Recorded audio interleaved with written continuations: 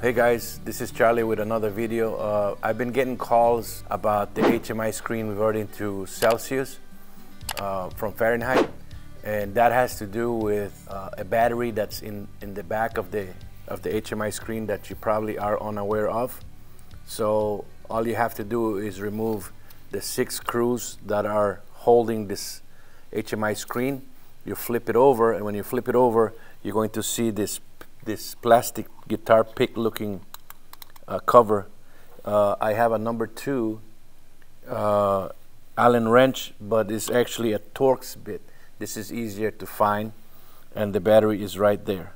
So we're gonna go ahead and remove this battery and, and replace it is a CR2032. It's one of those button batteries.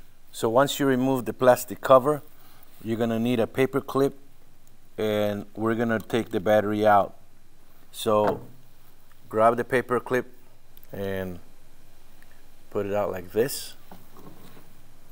And on the side,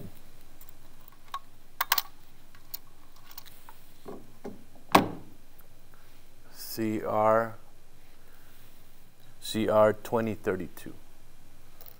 If you replace the battery and put it back in, that should take care of um, the, the HMI screen returning to Celsius every time you start it.